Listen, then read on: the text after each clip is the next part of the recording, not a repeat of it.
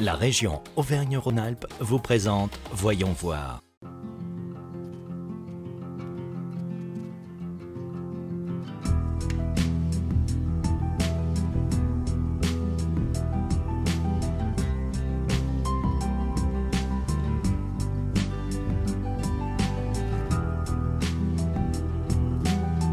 Bienvenue dans ce nouveau numéro de Voyons voir consacré aux labels et saveurs de qualité dans l'alimentation. Si ceux-ci garantissent la provenance d'un produit, certains sont reconnus au niveau européen et d'autres au niveau national. Tous nous prouvent que notre territoire regorge de saveurs exceptionnelles. C'est le cas pour le fameux jambon cru d'Auvergne. Sophie Lucas nous parle de ce produit d'exception qui a obtenu depuis quelques années une IGP. Sophie, IGP, qu'est-ce que ça signifie? Alors IGP, cela signifie indication géographique protégée. C'est l'Europe qui a créé cette appellation en 1992 et elle permet de reconnaître des savoir-faire et de limiter l'usage d'un terme géographique aux opérateurs de ce territoire.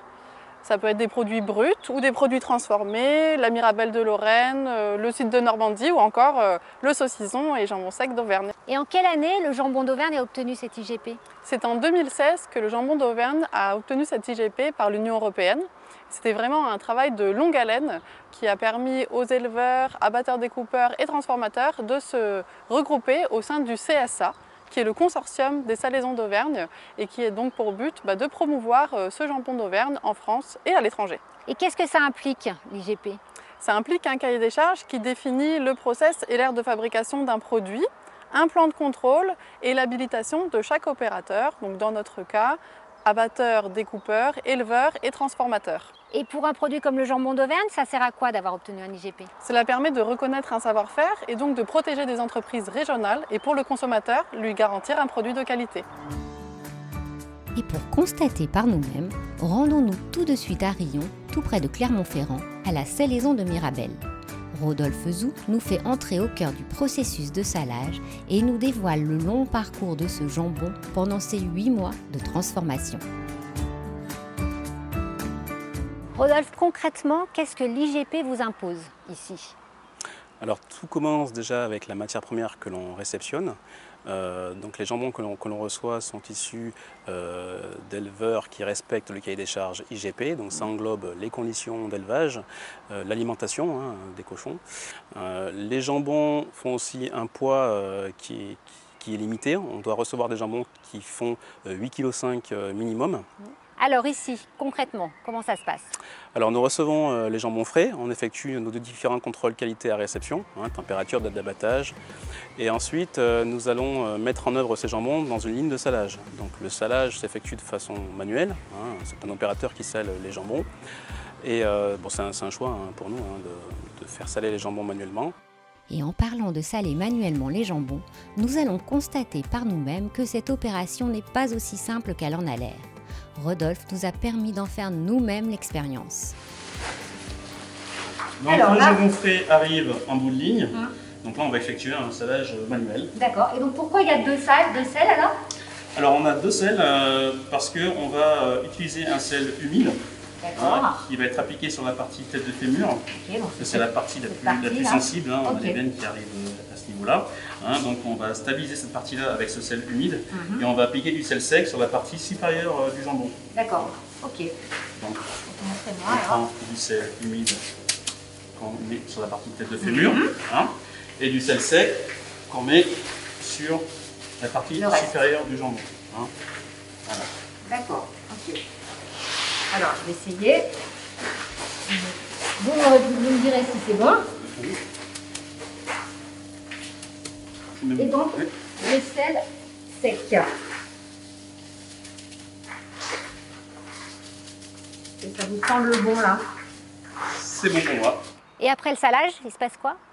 Ensuite le salage, les jambons sont stockés euh, dans, une, dans une chambre froide, euh, ventilée, euh, pendant un mois et demi. L'objectif c'est de stabiliser le produit à cœur et en surface.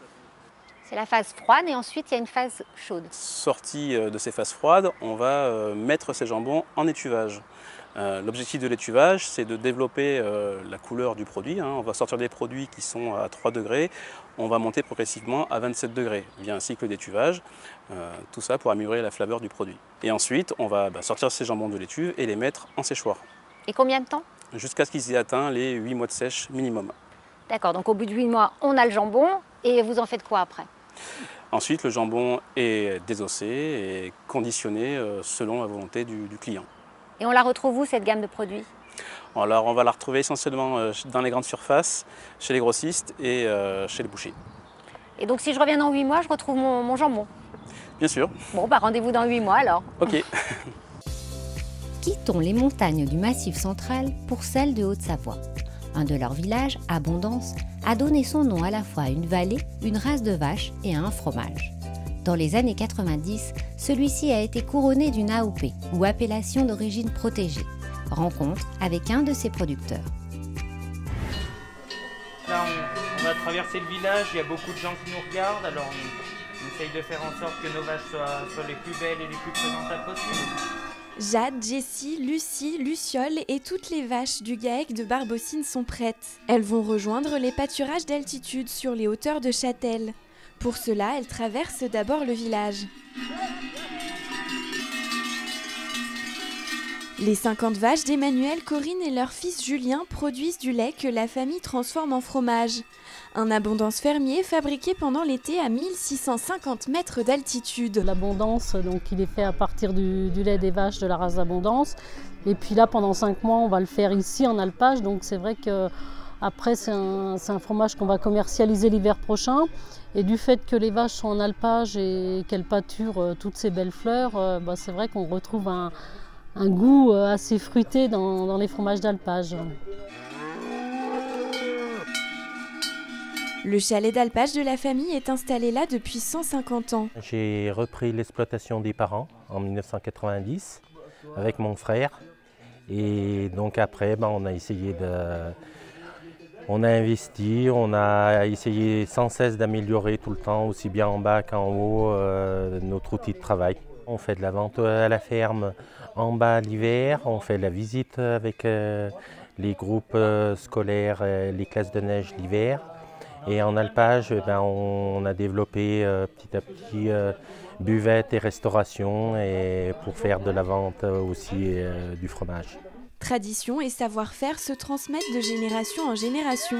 Julien, le cadet de la famille, n'envisage pas les choses autrement. On a toujours euh, habité et travaillé ici euh, avec notre, euh, notre, troupeau de vaches de race d'abondance pour faire du fromage d'abondance dans la vallée d'abondance. Donc c'est très important de le, conserver et, de continuer comme ça, surtout maintenant bah, avec l'appellation du, fromage d'abondance et la valorisation que ça nous donne. Et puis bah, le fait de, travailler en, famille et, en plus de ça en, plein air, en pleine nature, en montagne, c'est très attirant. De fin mai à fin octobre, les David accueillent les visiteurs et leur font découvrir leurs recettes, à base d'abondance bien sûr.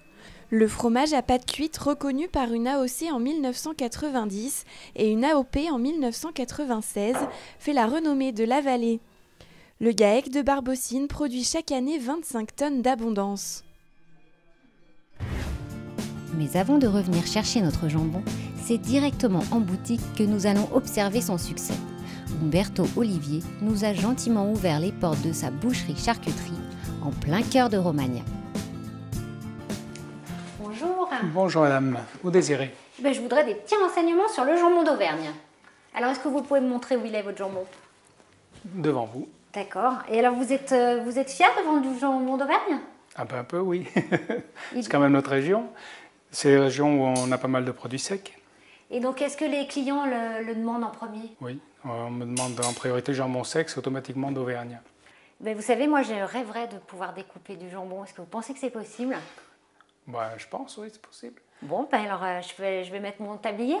Ah bah, si vous voulez, vous en avez un Vous allez m'en prêter un Bien sûr Alors, Berthaud, montrez-moi comment, comment ça marche, une trancheuse. Alors, pour les réglages, les réglages épaisseur, de la, tranche, marche, euh, marche et arrêt. D'accord. Et donc du coup là pour le jambon d'Auvergne, euh, l'épaisseur vous changez, vous variez souvent. Il y a plusieurs, euh, ah plusieurs épaisseurs. C'est en fonction des clients. Il y en a qui aiment bien épais, d'autres moyens, des tranches comme ça. Voilà. Oui, ça c'est une belle Moyenne. tranche. Ouais. Et d'autres, c'est de la chiffonnade carrément des copeaux.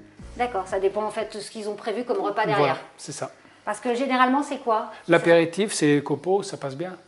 La, la chiffonnade, on mange tout en discutant, on mange avec les doigts directement, c'est sympa. Sinon, il y a d'autres plats traditionnels avec lesquels ça, ça La fonctionne truffade. bien Ah, la, La truffade. truffade. mmh. Jambon sec, ça passe très bien avec la Ouais, truffade. Ça réveille les papilles, ça donne envie d'en ben, remanger. Ah Oui, parce que du coup, le goût, il est différent. En fait, Ouais. c'est pas du tout par rapport à un jambon. ah non, bah non. Un non. autre jambon, c'est quoi la différence en fait? On le reconnaît comment? Le goût, euh, c'est euh, l'air, les volcans, je sais pas, ça donne pas le même goût qu'ailleurs. quoi. C'est un jambon qui est peut-être un peu plus sec ou pas? Non, c'est euh, ça, c'est le temps de séchage, ça n'a rien à voir. Si euh, 9 mois, 12 mois de séchage, euh, voire plus, euh, après, tant qu'il reste moelleux, c'est bon. Et là, en fait, c'est un IGP.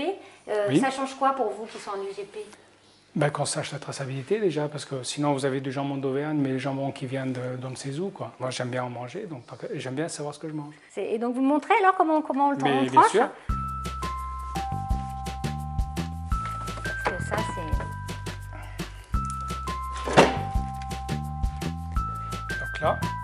On met en On marche, appuie sur la. vous réglez l'épaisseur que vous voulez. Donc là, par exemple, on fait quoi? On fait, Moyen, chi- deux on et fait, demi, moyen. Une, une moyenne, alors une de, tout- traditionnelle. Voilà, Donc il faut pousser. Allez, Voilà. j'essaye. hein, Attention, hein, c'est un- c'est une première. Oh là, Ah ben. il y a un vrai savoir-faire. hein, C'est là où on se rend compte que. Ah oui, allez-y, recommencez. Alors, je recommence. On va faire une belle là. Faut appuyer Voilà. plus peut-être. On en refait une dernière? Ah, si vous voulez, allez. Ah, bah on a hâte de la, de la goûter celle-là. Je vous laisse terminer. Alors, je vais vous montrer un truc. Ah oui, alors quand, on, montrez-moi. cou- quand on coupe une tranche de jambon Ouais, sec, petit secret. en fait, le principe, c'est de la récupérer pour pas avoir à la, à la toucher avec les mains. On la récupère avec ah la spatule. oui, il y a tout un savoir-faire. Et voilà, comme ça, les clients, ils ont le- la tranche, euh, même si vous avez touché autre chose avant. Comme ça, ils ont une belle tranche prête à être dégustée. Voilà. Avec l'intérêt grandissant sur l'origine des produits, tous ces mets de qualité poursuivent leur montée en puissance dans le cœur des consommateurs. En quête de transparence et par respect pour la planète et les producteurs, ils traduisent un besoin de retour à la nature et aux choses essentielles. Il n'en reste pas moins des produits évolutifs et tournés vers l'avenir, tant l'histoire de l'alimentation est liée à celle des hommes, toujours en quête de progrès et de nouveautés.